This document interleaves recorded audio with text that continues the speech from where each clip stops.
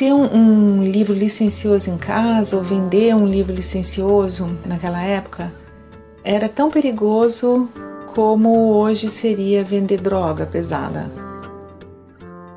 Devasso, libertino, desregrado, impudico, libidinoso, lascivo e indecente. Esses são alguns sinônimos para a palavra licencioso.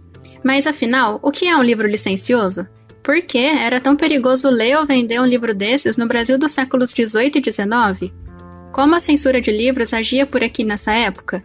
O episódio de hoje trata de questões como essas. Quem conversa com a gente é a Márcia Azevedo de Abreu, professora e pesquisadora do Instituto de Estudos da Linguagem, o IEL, da Unicamp. A Márcia tem desenvolvido pesquisas principalmente nas áreas de História do Livro e da Leitura e História da Literatura, Além disso, hoje em dia, ela também é diretora executiva da editora da Unicamp. Eu sou a Laís Toledo e esse é um episódio da Leitura de Fôlego, uma série sobre literatura para o podcast Oxigênio. Você está ouvindo Oxigênio.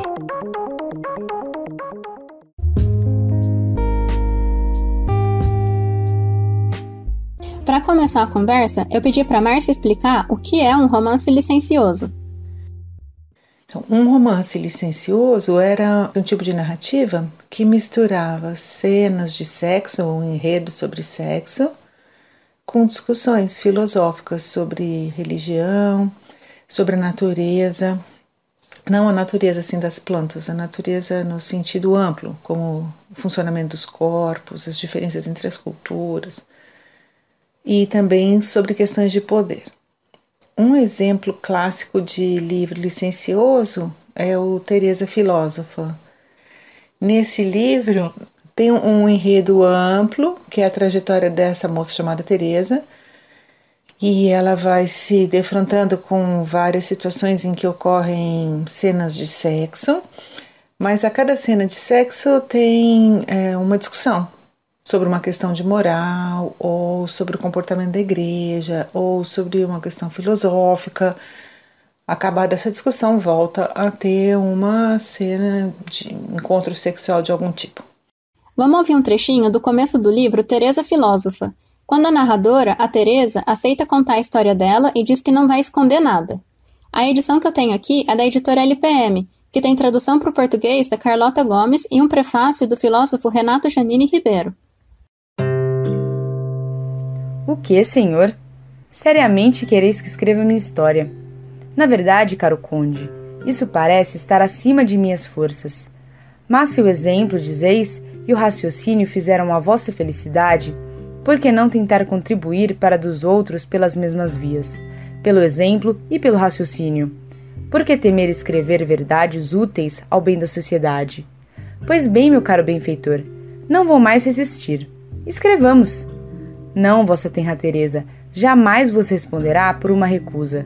Vereis todos os recônditos do seu coração desde a mais tenra infância. A sua alma vai se revelar inteiramente nos detalhes das pequenas aventuras que, sem que percebesse, a conduziram passo a passo ao auge da volúpia.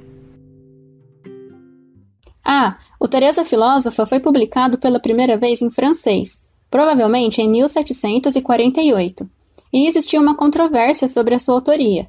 Mas, hoje em dia, é forte a ideia de que o livro foi escrito por Jean-Baptiste de Boyer, o Marquês d'Argent. Bom, esse é um exemplo de livro licencioso, mas existem outros que seguem modelos um pouco diferentes.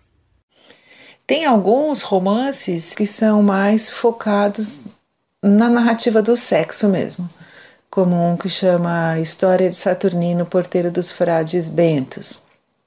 Esse tem mais enredo e menos discurso do que a Teresa Filósofa. E pelo título dá para ver que o centro da discussão é o comportamento dos religiosos. Esse tema era muito frequente nos romances licenciosos. Eles ou se passavam dentro de convento e monastério, ou eles envolviam cenas de sexo com padres, abades, com as altas hierarquias da igreja. E tinha muito essa questão de apresentar os conventos como um lugar de devassidão e não de religião ou de moral.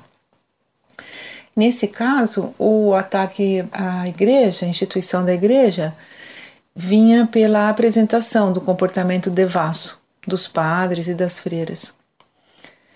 Em outros casos, também o ataque à igreja ou à monarquia vinha pela conversa entre as personagens ou por comentários do narrador sobre política, sobre religião, sobre moral. Então, para resumir, o romance licencioso era uma narrativa que ligava a ideia de livre reflexão com um enredo que tinha por tema central o sexo. A Márcia desenvolveu uma pesquisa relacionada aos romances licenciosos que teve um recorte de tempo e de espaço. Ela se dedicou a estudar romances desse tipo que circularam no Brasil e em Portugal no século XVIII e início do XIX. Os livros licenciosos preocuparam muitos letrados dessa época. Essa categoria, letrados entre aspas, inclui médicos, religiosos, filósofos e censores, por exemplo. Eles se perguntavam coisas do tipo: o que acontece quando alguém lê? Quais impactos esses livros têm sobre a moral dos leitores? A leitura leva a que tipo de ação? Ela pode provocar alterações no corpo do leitor? Eu pedi para Márcia explicar um pouco das preocupações desses letrados.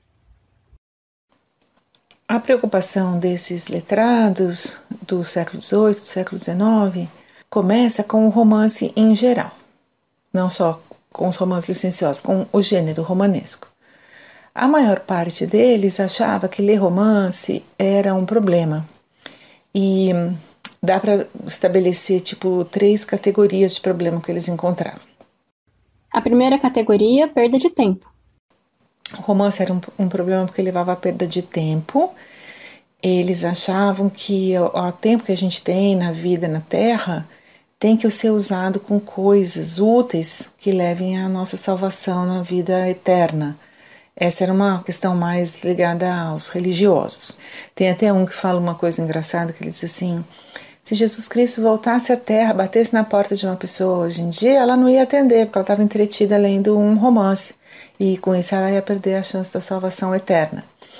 Os mais eruditos também viam ali uma perda de tempo, porque eles pensavam que todo o seu tempo útil devia ser destinado à obtenção de conhecimento, ao aprendizado, ao estudo.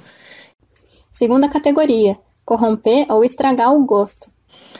Outros, esses são mais os letrados ligados à área das letras, da literatura, achavam que o romance corrompia o gosto das pessoas. Eles faziam um grande esforço nas escolas para que as pessoas compreendessem os procedimentos, os ditames da retórica e da poética.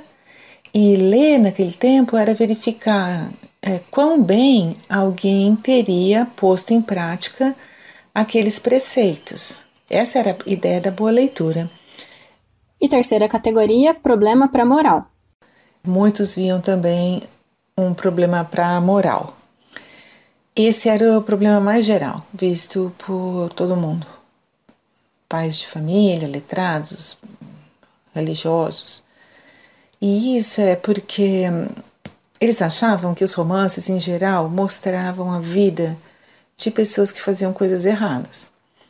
Mostrar as coisas erradas já seria um problema, mas o jeito envolvente de narrar, a maneira como a narrativa era construída, a maneira como as personagens eram construídas, fazia com que o leitor se identificasse com essas personagens erradas, que o leitor gostasse delas e, eventualmente, entendesse ou desculpasse os erros que ela cometeu. Então, isso parecia um mau exemplo para essas pessoas é, que se opunham ao romance. Em relação a esse suposto problema para a moral, a nossa entrevistada citou como exemplo um romance do escritor inglês Daniel Defoe, que ficou famoso pelo livro Robinson Crusoe. O exemplo que a Márcia deu foi de outro livro desse escritor, o romance Moll Flanders, publicado em 1722. Esse livro tem um subtítulo enorme, que é quase um resumo da narrativa, e que apresenta os problemas, ou melhor, o que os analistas da época achavam que eram problemas, da vida da personagem principal, a Moll. Eu gosto de falar desse romance porque o subtítulo dele já explica tudo. Olha como que é o subtítulo. As aventuras e desventuras da famosa Moll Flanders que nasceu na prisão de Newgate e, ao longo de uma vida de contínuas peripécias, que durou três vintenas de anos, sem considerarmos sua infância, foi, por 12 anos prostituta, por 12 anos ladra. Casou-se cinco vezes, uma das quais com seu próprio irmão. Foi deportada por oito anos para Virgínia. E, enfim, enriqueceu, viveu honestamente e morreu como penitente, escrito com base em suas próprias memórias. Tudo isso que eu falei agora é o subtítulo. As situações vividas pela personagem, contadas em primeira pessoa, eram bem problemáticas para a sociedade da época. E a própria personagem apresentava essas situações como problemas, pelos quais ela se desculpava e mostrava certo arrependimento.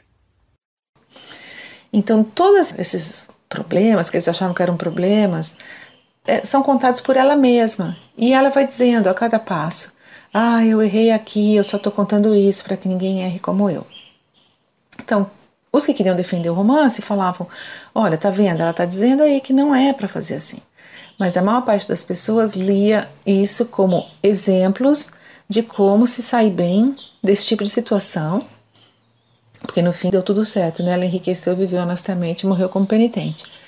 Ou também que levaria a uma compreensão. Isso hoje em dia a gente acha super bacana, mas eles não acham. Levaria o leitor a compreender o comportamento das pessoas. Ela era circunstância, ela não sabia, ela se equivocou. Então isso fazia com que o gênero romanesco como um todo fosse muito mal visto. Então existiam essas preocupações com os romances no geral e não apenas em relação aos licenciosos.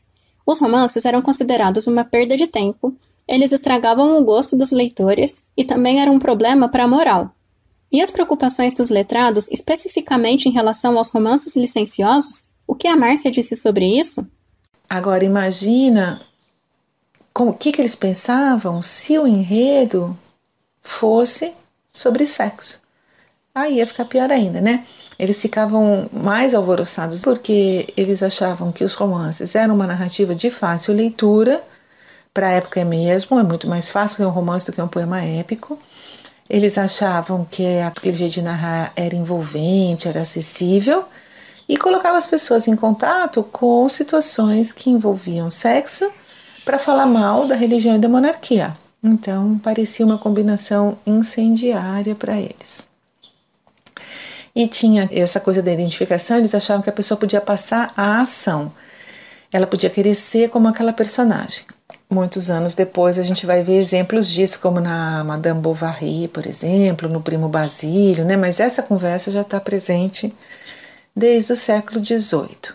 Então eles achavam que alguns comportamentos podiam se modificar com a leitura e também os corpos podiam se modificar especialmente durante a leitura de livros licenciosos, né? Dá para imaginar o que, que acontecia com os corpos durante a leitura de um livro licencioso. É, e dá também para imaginar o que, que eles achavam que podia ser um problema de transferir da leitura para ação. Tem um dito do Rousseau que eu acho bem bacana, porque ele fala de, disso, desse efeito da leitura de uma maneira não totalmente direta engraçada, ele fala que livros licenciosos são livros que se lê com uma só mão. Essa preocupação com os romances no geral e principalmente com os romances licenciosos não ficava só na teoria, não. Nos séculos 18 e 19, a censura tinha um papel importante na imprensa. Eu pedi para Márcia falar um pouco sobre a atuação dos censores nessa época, aqui no Brasil e em Portugal. A censura no século XVIII e XIX não é uma coisa só de Portugal e do Brasil. Eu acho que eu posso dizer, é, sem errar, que em todo o mundo ocidental é, teve censura ao longo do século XVIII e alguns países prolongaram a censura até o século XIX. Então, isso é um fenômeno geral. Eu vou falar um pouquinho mais sobre Portugal e o Brasil, porque é o que eu estudei mais tempo, que eu conheço é, melhor. Então, em Portugal e no Brasil teve censura desde a criação da imprensa até o início do século XIX. Os censores, eles não se preocupavam só com os livros licenciosos, não. Eles se preocupavam com todos os livros. E liam buscando os livros que pudessem ter alguma ideia contrária à igreja ou à monarquia ou contra a moral vigente. Mas eles faziam muito mais que isso. E foi essa parte que me atraiu tanto quando eu estudei os registros de censura em Portugal e no Brasil no século 18 e 19, porque eu me dediquei a ler todos os pareceres que avaliavam romances para entender como esses homens, eram todos homens, reagiam aos romances. Naquele tempo não, não existia crítica literária como a gente entende hoje. Então é ainda mais difícil saber o que as pessoas pensavam quando elas liam uma obra, como elas entendiam aquilo, como elas reagiam. Então eu procurei os registros de censura que ficam guardados na Torre do Tombo em Portugal e hum, no Arquivo Nacional no Rio de Janeiro, para entender o que, que os letrados da época pensavam sobre os romances. Hoje a gente pensa que a censura era uma coisa feita por gente limitada, por gente ignorante, por gente sem muita cultura, porque a gente tem uma visão muito pejorativa da censura hoje em dia. E ela é derivada, eu acho, principalmente da ação da censura no século XX durante as ditaduras. Porque ali parece que a censura era exercida por gente assim mesmo, né? Por gente sem muita instrução. Mas esse não era o perfil dos censores do período que a Márcia estudou. Os censores do antigo regime eram pessoas letradas, da elite do Brasil e de Portugal. Eles eram é, pessoas escolhidas entre os homens da elite letrada. Eles eram muito cultos, eles falavam várias línguas, todos eles sabiam latim, eles liam muito, uma boa parte deles, pelo menos dos que eu trabalhei que, que tinham que ler romance, né? Eram também escritores e alguns eram professores. Por isso é, é tão interessante entender o que, que eles pensavam sobre os romances em geral. Quer dizer, pelo menos eu achei tão interessante entender isso. Porque ali dá para a gente ver como os homens cultos daquela época, homens que todos eles achavam que o romance era um gênero menor, todos, sem exceção, como eles reagiam a esse gênero menor. É, um letrado que se levasse a sério não devia prestar muita atenção em romances, mas eles eram obrigados a ler todos os romances que passavam por Portugal e pelo Brasil para liberar a sua circulação ou a sua impressão.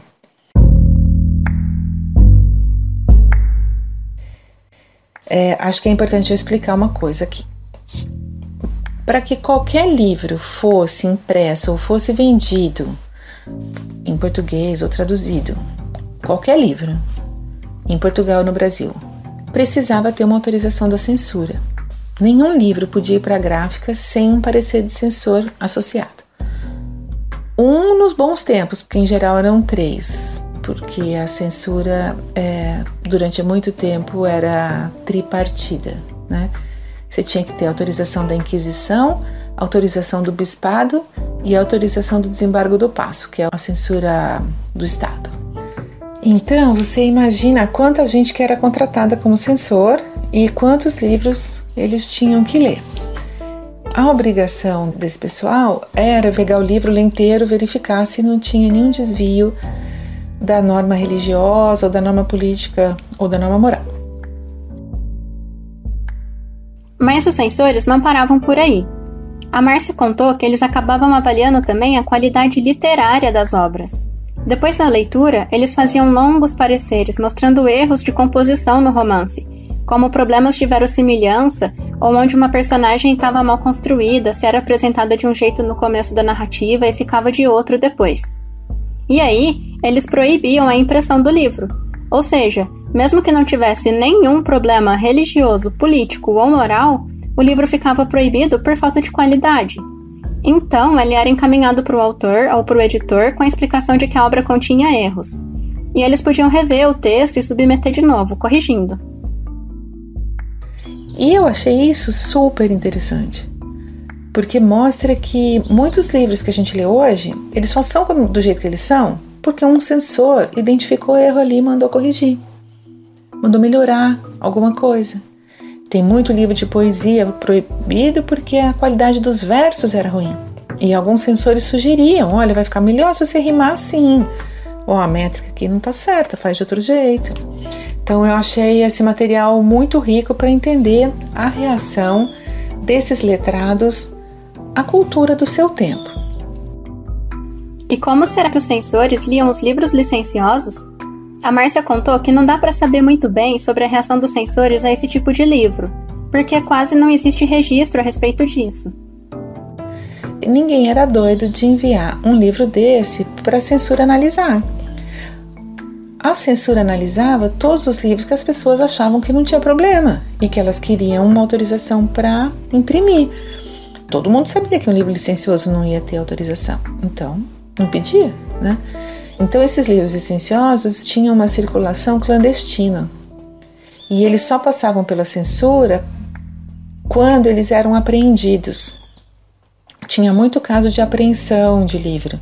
Às vezes era no porto, um navio que chegou com carregamento de livro, alguém começa a olhar as listas, tinha que fazer uma lista dos livros que estavam naquelas caixas.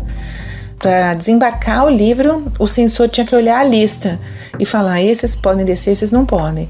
Se ele não conhecesse o livro, ele mandava vir para ele ler. Então, às vezes, no meio dessas caixas de livro, dessas listas, eles punham lá no meio o nome de um livro licencioso achando que ia passar. E o censor pegava. Mas aí ele não fazia um longo parecer explicando o que, que ele achava. Ele falava: Isso aqui é um livro licencioso, está proibido. Então eles não se alongavam muito na explicação sobre isso. Eles só identificavam quais eram as obras licenciosas ou no desembarque, ou numa apreensão na casa de alguma pessoa, porque tinha apreensão em casa também, ou alguma denúncia que eles recebiam. Então era só mais assim nesse sentido. Eles identificavam que aquela obra tinha causado escândalo nas nações mais cultas da Europa, eles escreviam esse tipo de coisa.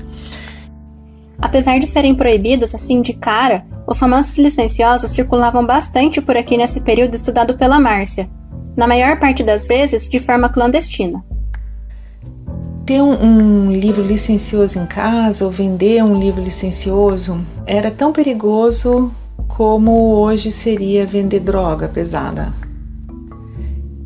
Então era uma coisa muito, muito arriscada para quem queria vender e a circulação era muito controlada. Se um livreiro, por exemplo, fosse encontrado vendendo esse tipo de livro, ele ia ser preso Dependendo da gravidade do caso, seus bens podiam ser confiscados, sua loja podia ser fechada. Se alguém fosse pego com um livro desses em casa, a pessoa podia ir para a cadeia, era proibido possuir. Apesar disso, a Márcia contou que acontecia uma coisa engraçada. Várias pessoas pediam autorização para ter e ler livros proibidos, e alguns até conseguiam. Muitas pessoas mandavam pedidos para censura desse teor. Olha, eu sei que tal livro é proibido, mas eu preciso muito ler esse livro. E aí eles davam as desculpas que eles conseguiam dar. Alguns falavam assim: ah, eu sou um, um professor e eu preciso saber o que tem nesse livro para poder discutir se eu pegar algum aluno com isso para poder saber o que, que é. Alguns falavam: eu sou advogado, eu preciso saber esse livro para poder defender alguém. Se a justificativa fosse plausível, eles até conseguiam, e a censura falava assim: pode sim, como você é uma pessoa muito culta, muito bem informada, você pode ler isso, mas você tem que guardar na sua casa num lugar escondido. Alguns falavam: você tem que guardar num armário fechado com arame, porque eles não queriam que outras pessoas da casa ou amigos vissem e, e lessem aquilo, né? Fora esses casos de pedidos de autorização, a circulação dos livros licenciosos era clandestina. E a maior parte dos registros que a gente tem hoje sobre esse tipo de livro são justamente os registros de apreensão. O registro que a gente tem dela é quando a coisa dá errado e alguém é pego. Mas pela quantidade de apreensões que ficaram registradas, dá para imaginar que esses livros circulavam bastante por vias clandestinas.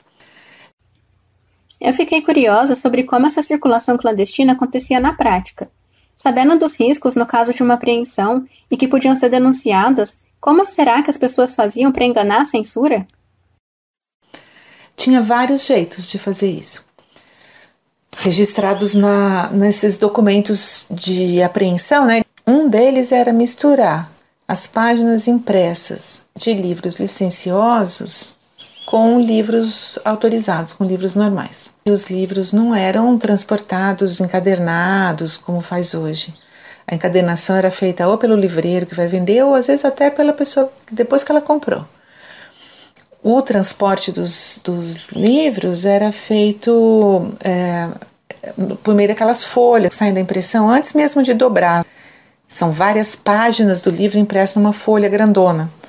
Então, esses fardos de folhas grandonas eram acondicionados e mandados. O livreiro mandava montar aquilo depois que chegava lá na livraria dele para virar um livro.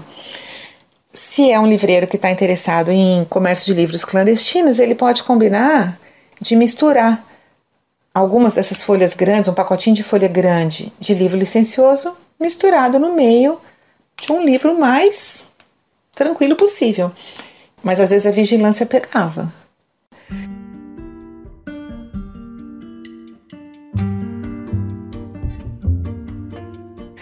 Outro jeito era fazer a venda clandestina mesmo, né? Então o cara, de alguma maneira, ele conseguia receber lá um tanto de livro clandestino, vinha pelos Alpes, era uma confusão danada para fazer o livro chegar nas cidades.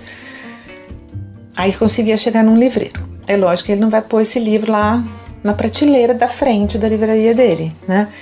Ele vai avisar secretamente para algumas pessoas que ele conseguiu um ou dois. Essas pessoas avisavam para os amigos em quem eles tivessem confiança. Um livro desse, os, os, livros em geral, mas esses também eram lidos por muitas pessoas. E o livro era muito mais caro do que ele é hoje, muito mais difícil o acesso. Então as pessoas emprestavam para os amigos, para os colegas, e, e o colega emprestava para o outro. Então, um livro clandestino podia ter uma grande circulação dessa maneira. A Márcia contou sobre um outro modo de circular esses livros, mais curioso até que os demais. Há também registros é, de um jeito super interessante de fazer esses livros circularem, que é a cópia manuscrita. Esse é o jeito da Inquisição, da censura não se meter. Você conseguiu um livro, você está feito, porque daí você copia ele inteiro à mão. Passa para o teu amigo, o amigo copia a mão a chance de alguém do poder saber disso é muito pequena. Eu estudei uma cópia manuscrita, uma tradução, na verdade, manuscrita desse Teresa Filósofa que eu falei no começo. Ele circulava só em francês, um cara em Portugal traduziu, bonitinho, dobrou a folhinha bonitinha para ficar parecendo um livro. Isso está arquivado na Biblioteca Nacional lá de Lisboa. Ele deve ter passado para várias pessoas.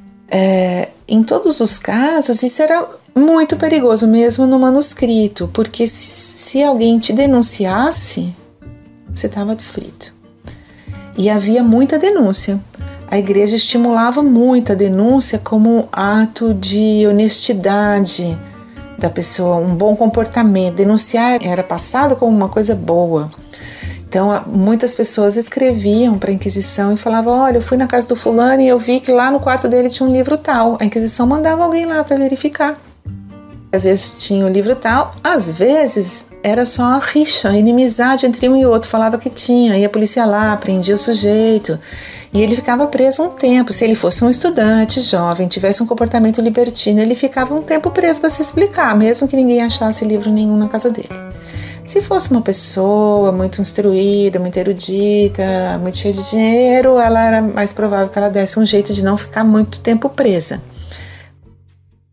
Se era um perigo para quem tinha ou vendia um livro desses, imagina para quem escrevia. Então, lembra que eu falei que tinha uma controvérsia sobre quem seria o autor do Teresa Filósofa?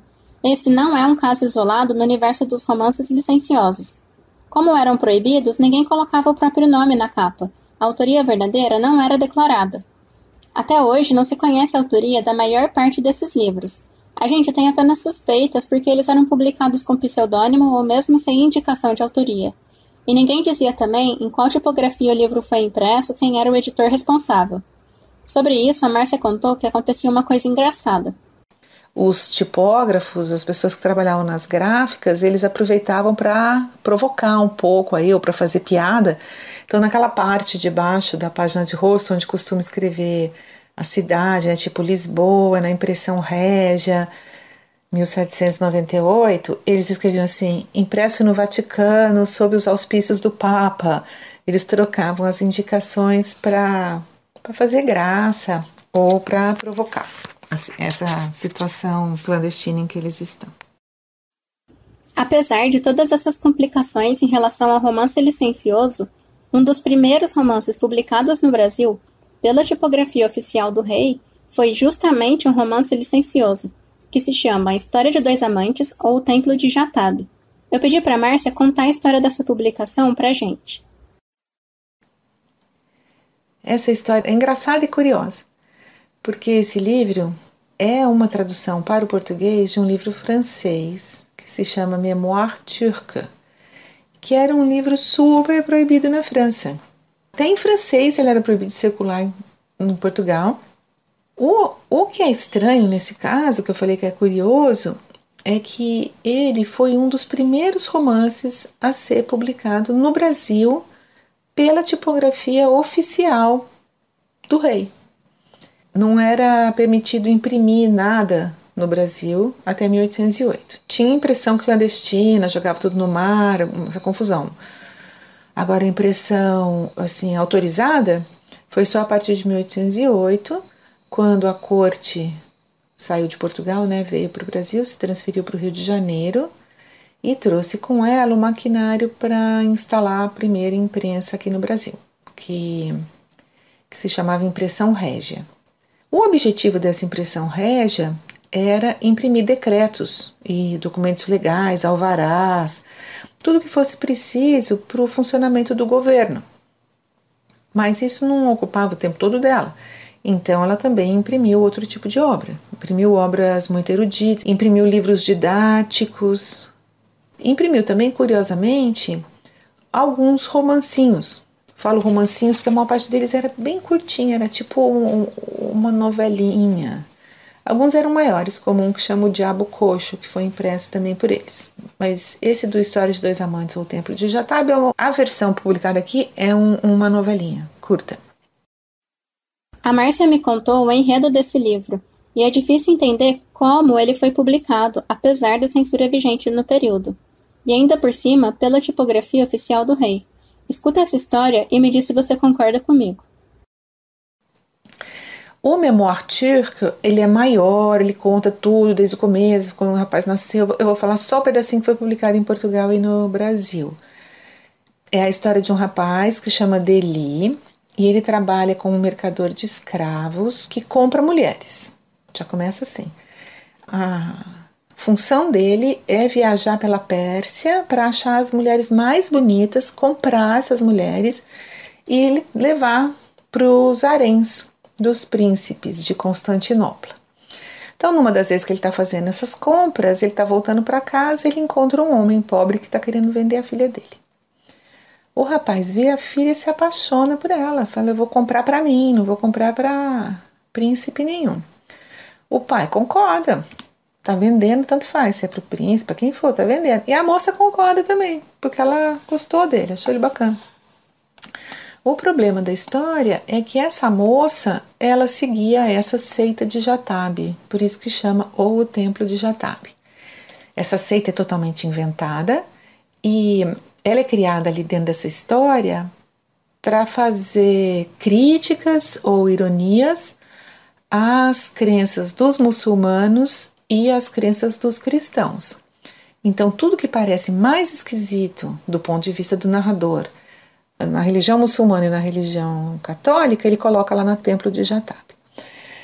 E outras coisas que não estão assim oficialmente em nenhuma religião, mas ele coloca para criticar a própria ideia de religião. Nessa seita, todas as mulheres tinham que permanecer virgens até 15 anos de idade, era obrigado. Com 15 anos, elas tinham que fazer uma peregrinação para esse templo de Jatab, onde moram lá os sacerdotes. E a função dos sacerdotes é iniciar essas moças na vida sexual. Então, as primeiras experiências sexuais delas têm que ser com os sacerdotes.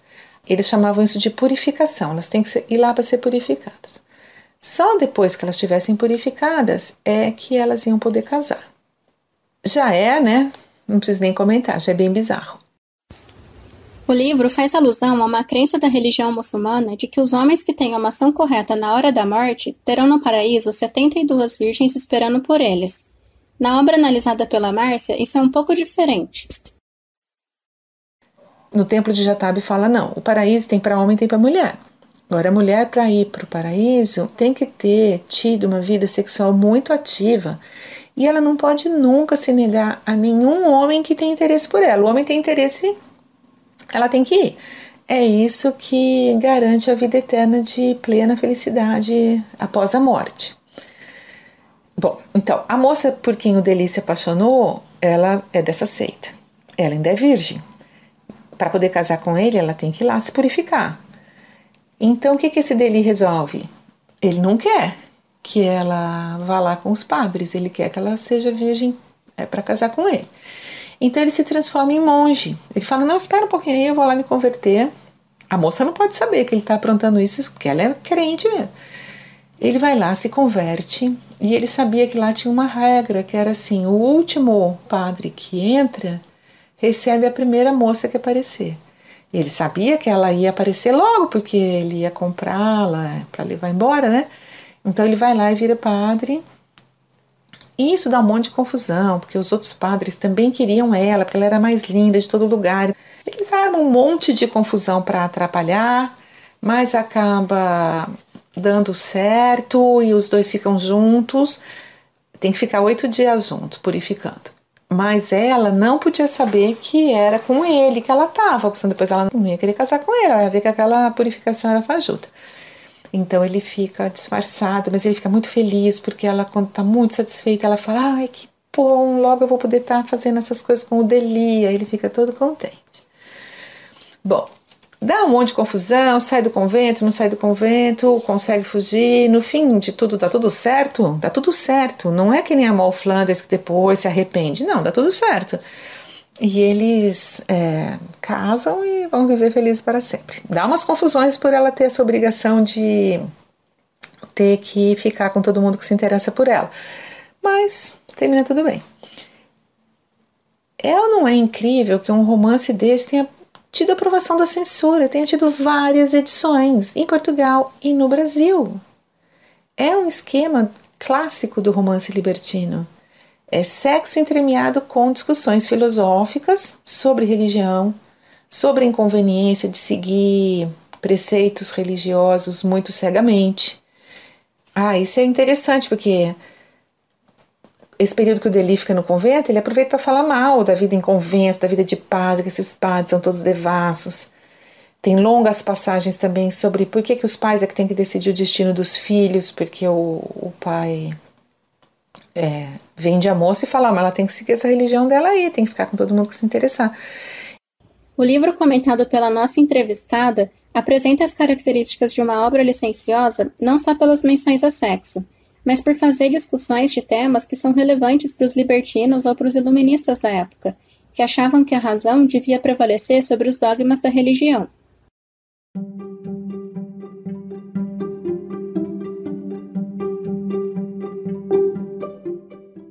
Como esse caso ainda misterioso da publicação oficial de um livro licencioso no Brasil, apesar de todas as complicações relacionadas à censura na época, a gente termina essa conversa. O que você achou desse episódio? Deixe um comentário pra gente. Estamos no Facebook, facebook.com.br Oxigênio Notícias, tudo junto e sem acento. E no Instagram e no Twitter também. Basta procurar por Oxigênio Podcast. O roteiro e a narração desse episódio foram feitos por mim, Laís Toledo. A leitura do trecho do livro foi feita pela Thaís Oliveira. Os trabalhos técnicos foram feitos pelo Gustavo Campos e pelo Otávio Augusto, da Rádio Unicamp. Até o próximo Leitura de Fôlego.